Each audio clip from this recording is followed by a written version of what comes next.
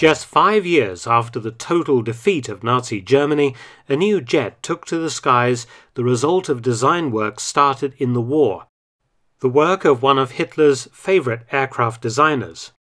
But this incredible achievement did not occur in West Germany or even in Europe. Rather, the jet had been built in a nation that had actually encouraged Nazis to make new lives for themselves, safe from war crimes investigations. That country was Argentina. Argentina, under the rule of President Juan Perón, had even established agents in post war Italy and Austria to help facilitate the illegal movements of thousands of Nazi war crime suspects to the South American nation, actively courting all sorts of former SS and Nazi Party administrators, scientists, and technicians. In fact, following Germany's defeat in May 1945, countries were scrambling to snatch the Third Reich's best brains for their own national interests. For example, the United States covertly brought 765 former Nazi scientists to America to build ballistic missiles and later space rockets for NASA, ignoring the fact that 85% of them had been SS officers, and many, like Wernher von Braun, directly complicit in the use of slave labor to build the V 2 rockets that bombarded London towards the end of the war. For example, the V 2 program resulted in the deaths of 20,000 slave workers at concentration camps, where they were worked to death, executed, or died of disease and starvation manufacturing the missiles. Those responsible became honored and lauded members of the US scientific community and never were tried for their crimes. The Soviet Union and Britain also did the same, all happy to ignore inconvenient pasts in order to help them to win the new Cold War. If you want more detail on Nazi war criminals fleeing Europe, check out my new series Ratlines on war stories with Mark Felton, link in the description box below. The Argentine leader, Juan Perón, was a realist, and knowing that many Nazi fugitives preferred not to work for the Allies, fearful of imprisonment or death once they had outlived their usefulness, he enacted a plan to recruit tens of thousands of specialists from among Nazis in hiding. Argentina already had large German communities. The country was attractive for men who wished to start again in a non extradition regime. All sorts of unsavory characters made it to Argentina via the rat lines that ran through Germany into Austria and Italy and thence to South America. SS Obersturmbannführer Adolf Eichmann, the administrative head of the Holocaust, arrived in Argentina in 1950. SS Hauptsturmführer Dr. Josef Mengele, the infamous Auschwitz doctor, arrived safely the year before followed by SS Hauptsturmführer Franz Stangl, the former commandant of Sobibor and Treblinka camps, and former SS Hauptsturmführer Klaus Barbie, the infamous Gestapo chief nicknamed the Butcher of Lyon. Of more use to Perón's military was the arrival in Argentina of two important aircraft designers. The first was French. Émile Dewoitine arrived in May 1946. One of the pioneers of the French aircraft industry, he had blackened his copybook by working for the collaborationist Vichy regime after the Germans' defeat of France, manufacturing aircraft used by the Germans. After the liberation of France in 1944, Dewoitine fled to fascist Spain, fearing persecution for his wartime collaboration. From there, he moved to Argentina and developed South America's first jet powered aircraft, the Pulqui 1. He was right to fear returning to France, for in 1948 he was sentenced in absentia to 20 years forced labour. The other greater prize for Perón was Kurt Tank, one of Germany's preeminent wartime aircraft designers. Before and during the war, Tank had designed some iconic aircraft. In 1936, he created the Focke-Wulf 200 Condor, an airliner, a maritime patrol aircraft, and also used as Hitler's personal plane. Perhaps his most famous design was the Focke-Wulf 190, one of the most used single-seat fighters in Luftwaffe service. Over 20,000 were built. It was, alongside the Messerschmitt 109, the backbone of Germany's fighter defences during the Allied bombing campaign. Tank would go on to create the Focke-Wulf TA-152, a high-altitude interceptor designed to shoot down Allied bombers which flew ever higher. Tank knew his value, and though not in any way a war crime suspect, he was determined to continue designing military aircraft somewhere. Britain and nationalist China both tried to tempt him to work for them, along with the Soviet Union, but Argentina made a better offer, and Tank went to work at its Aeronautical Institute in Cordoba, using the cover name Pedro Matthies. Many of Tank's Focke-Wulf designers went with him to Argentina Tank took with him his design library, including plans for a late war jet powered fighter that had never been built, the Focke-Wulf TA 183. Desperate for cheap jet fighters to try and halt the Allied bomber offensive, several German aircraft companies had submitted designs for the emergency fighter program, a few of which were actually built. For example, the Heinkel 162 Volksjäger or People's Fighter.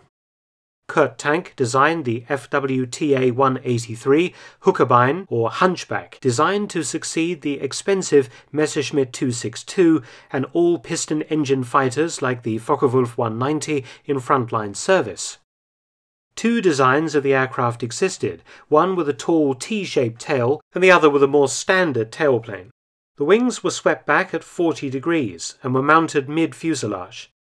Due to critical material shortages, the aircraft's fuselage and wings' internal structures were largely wooden and covered in plywood.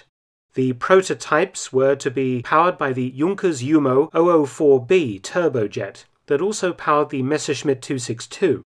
The pilot sat in a pressurized cockpit with a bubble canopy for excellent vision, and it was armed with four Mk 108 30mm cannons arranged around the air intake.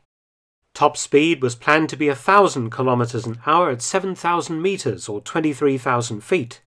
Focke-Wulf stated in February 1945 that it could produce 300 aircraft per month, and a total of 16 prototypes were ordered to be built, with a first flight scheduled for May 1945. However, the Focke-Wulf facilities fell to British forces on the 8th of April 1945 before any Huckebeins had been completed. However, a few years later, and Tank was able to resurrect the TA-183 project in Argentina. Working with many of his original team, Tank modified the 183 design, placing the wings at a shoulder-mounted position. This was done to avoid a heavy fuselage spar pass-through structure going around the engine.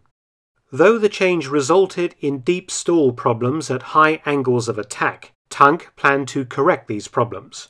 In 1950, the Argentine Air Force used the British Gloster Meteor F4 as its main interceptor, but Argentina wanted to produce homegrown jet fighters, they had first tried with exiled French designer Dewoitine, who produced the Pulqui 1 in 1947. The design was not a success. Kurt Tank would use the Rolls-Royce Nene 2 jet engine from the Pulqui design, and the Focke-Wulf TA-183 design would be modified to accommodate the much larger British engine. The fuselage was scaled up, the undercarriage from the Pulqui 1 was also incorporated into Tank's new aircraft, now called the Pulqui 2. The T-shaped tail was swept back 50 degrees, and the cockpit had a bubble canopy with armor and a bulletproof windscreen. Armament was planned to be four 20mm cannon, staggered in two pairs along each side of the fuselage. In order to test the design, two unpowered glider versions were built and tested in 1948 to 49. They were constructed by Reimar Horten of the famous Horten brothers, who had built the Nazi flying wing late in the war and also fled to Argentina. Tank flew some of the missions himself. Various problems were resolved and alterations made. But Tank faced a problem. Argentina lacked the up-to-date machinery and tools required to build jets, and each aircraft was essentially hand-built. The first powered flying prototype was built in 1950 and first flew on the 27th of June using Focke-Wulf test pilots. It proved a difficult plane to land and had stability problems at speeds above 700 kilometers an hour. Modifications mostly corrected these problems. After several more flights and more modifications, Tank made a demonstration flight on the 8th of February 1951 before President Peron, government officials, foreign diplomats and military attaches, and a large crowd of locals.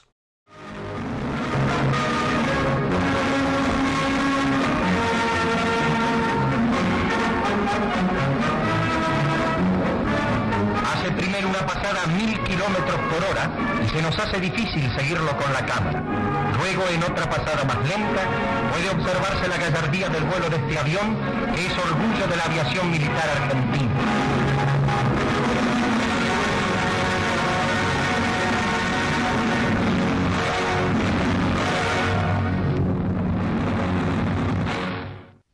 The proving test flights were a success, and the Argentine Air Force ordered 12 aircraft.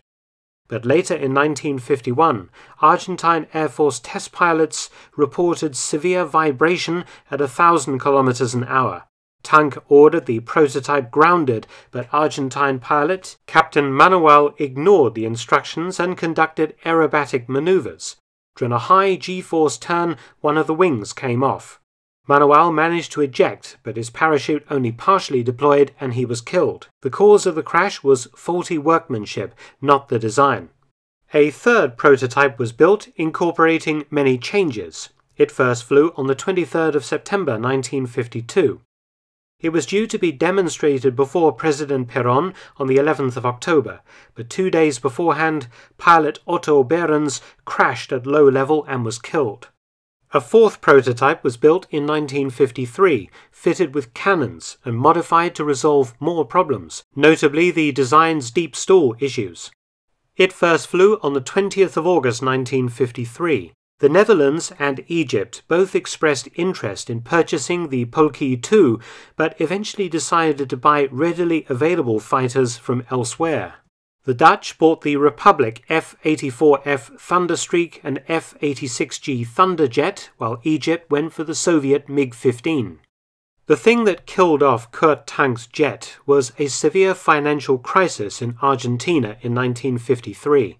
Put simply, Argentina couldn't afford to make the Pulqui II, especially with no overseas orders on the books. Tank's contract expired in January 1955 and Peron terminated the project. However, the one remaining Pulqui II, the fourth ARM prototype, did see combat, ironically used alongside Meteor F-4s to attack Peronist forces during a coup d'etat in September 1955 that forced Peron from office. The new government forced Tank and many other Germans with Third Reich connections out of the country, Tank going to India, where he developed the HF-24 Marut supersonic fighter. The last use of a Kurt tank built Pulqui II was in 1956 during an attempt to make a record flight from Cordoba to Buenos Aires. The aircraft overran the runway in Buenos Aires and was damaged beyond repair. The aging Meteor F-4s served on, but the Argentine Air Force seemed determined that the Pulqui II should be adopted, and the new government allowed orders for 100, a fifth prototype was therefore built in 1959 and flew the same year. But by now the fighter was considered obsolete and too politically sensitive because of its connection to Peron and Nazis. Instead, the new Argentine government was wooed by the Americans and received 28 rather tatty second-hand F-86 F-40 Sabres for a very low price. Prototype number 5 is today preserved at the Argentine Air Force Museum at Airbase Moron, the only example surviving of Nazi Germany's last jet fighter, the Pulqui II. Thanks for watching. Please subscribe and share. You can also visit my new audiobook channel, War Stories with Mark Felton. Details below. You can help support both of my channels at PayPal and Patreon. Details also in the description box.